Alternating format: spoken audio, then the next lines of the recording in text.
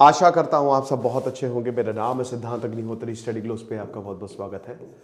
क्या बात है भाई, क्या बात है। विश्वराज मिसाइल सिस्टम भारत को मिल गया है। भाई देखो, आत्मनिर्भर और डीआरडीओ के लिए आप तालियाँ बजाते रहो। तालियाँ रुकनी नहीं चाहिए, क्योंकि जिस तरीके से डीआरडीओ काम कर रहा है, मज़ा ही आ गई है। A O N acceptance of necessity वो चीज़ें जो आर्मी को चाहिए ही चाहिए। तो इसीलिए आर्मी प्रोक्योर करेगी very short range air defence system और विश्वराज। वेरी शॉर्ट रेंज बहुत ही short range air defence system man pad है ये, ठीक है? पोर्टेबल है, ठीक है? अभी हम इसकी बात करेंगे अच्छे से। अब देखिए, ये मिसाइल सिस्टम है, ठीक है? मिसाइल निकलेंगे इससे। माउंटेन्स के लिए ज़बरदस्त। पहाड़ों पे अब ना ही पाकिस्तान आएगा, ना ही चीन आएगा। डीआरडीओ ने इसको डेवलप किया है।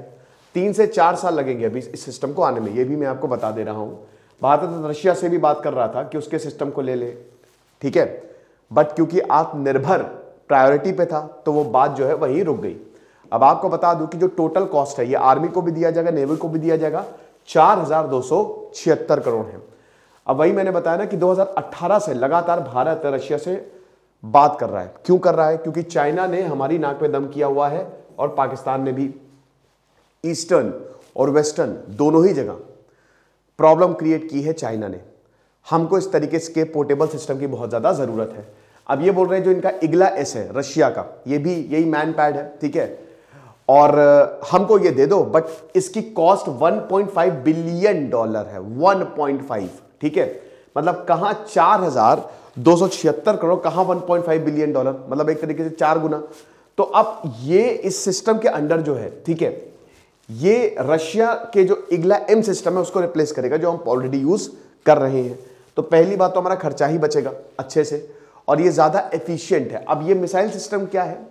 देखिए, ये it will kill men to key low altitude aerial threats Pakistan आजकल बड़े सारे ड्रोन्स भेज रहा है, ठीक है? तो जो लो एल्टीट्यूड ऊपर तो मिसाइल ही चली जाएगी, आकाश, अग्नि, ये सब काफ़ी है, ठीक है? पृथ्वी लेकिन जो लो एल्टीट्यूड पे आ रहा है, उसको विश्वराध जो है वो देखेगा, ठीक है? Man portable air defence system जिसको मैन पैड कहते हैं। वो देखा ना रॉकेट लॉन्चर आपने देखा होगा सनी दियोल को रॉकेट लॉन्चर लेते हुए। कहीं पे भी मारते हैं, इतना ऐसा लगता है कि दुकानों पे मिलता है। सनी दियोल तो ऐसे रॉकेट लॉन्चर पिछले जो मूवीज़ थी वो लेके घूमते थे। तो ये मैन पैड है, और डीआरडीओ ये कह रहा है, ये बहुत हल्का है, ठीक है? रॉकेट लॉन्चर्स भाई, आपको पूरा का पूरा ये लॉन्चर और उसमें मिसाइल डालनी होती है, छोटी मिसाइल्स लेकिन वो भारी होती है बहुत। ये बहुत हल्की है। वेरी गुड क्या बात है? Design and developed indigenously by DRDO आत्मनिर्भर। डीआरडीओ ने इसको बनाया है, किसके साथ कोलैबोरेट किया है? बाकी डीआरडीओ की लेबोरेटरीज ढेरों डीआरडीओ की लेबोरेटरीज है जो इन कोऑर्डिनेशन काम करती हैं, ठीक है? दो सक्सेसफुल फ्लाइट्स इसका, ये इसकी, देखिए, इसकी टेस्टिंग बहुत पहले से चल रही है 2018 के बाद से ही प्रोजेक्ट जो है वो शुरू हो गया था। और इसकी चांदीपुर जो जहाँ पे सब जितने भी जो टेस्ट है डीआरडीओ के, वो यहीं पे ही होते हैं। तो ओडिशा में, चांदीपुर ओडिशा में ही इसका टेस्ट किया। अब देखिए थोड़ा सा इसमें क्या है भैया? एक तो इंजन जो मतलब जो थ्रस्टर लगाया गया है, डुअल थ्रस्ट सॉलिड मोटर। अब डुअल एक है तो ठीक है, डुअल मतलब उसको दुगना कर दो। उसकी एफिशिएंटी, एफिशिएंसी जो है वो दुगना हो जाएगी। देन उसके बाद रिएक्शन कंट्रोल सिस्टम। ये अगेन, कंट्रोल करने के लिए, मैन्यूवर करने के लिए बहुत ज़्यादा काम आता है। और इंटीग्रेटेड एवियोनिक्स है। मतलब देखिए, ये खाली ऐसा नहीं है कि आपको ऐसे निशाना लगाना पड़ेगा। अरे, कहा गया, कहा नहीं। आप बस ऐसे फ़ीड करो। सिस्टम है पूरा का पूरा कंप्यूटराइज्ड बाकी अपने आप काम कर देगा। ठीक है ना? और ये आप हाथ से चला सकते हो। बहुत बड़ी बात है।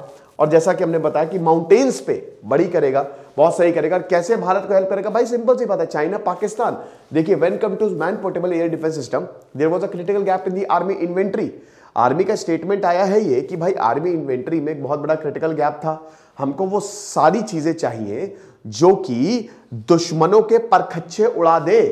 अगर एक भी चीज़ की कमी हुई, इन्वेंट्री में वो नहीं है तो वो एक लूप होल है जिसका यूज़ करके दुश्मन हम पे हमला कर सकता है। तो अगर हम ईस्टर्न और नॉर्दर्न बॉर्डर्स की बात करें, और स्पेशली वेस्टर्न बॉर्डर्स की भी बात करें तो ये हमको बहुत ज़्यादा हेल्प करेगा। पाकिस्तान और चाइना दोनों से ही निपटने के लिए, क्योंकि एलओसी में भी बहुत बड़ी प्रॉब्लम चलती रहती है, वो ड्रोन्स आजकल भेज रहे हैं भैया, और इधर चाइना तो प्रॉब्लम क्रिएट करता ही करता है, ठीक है?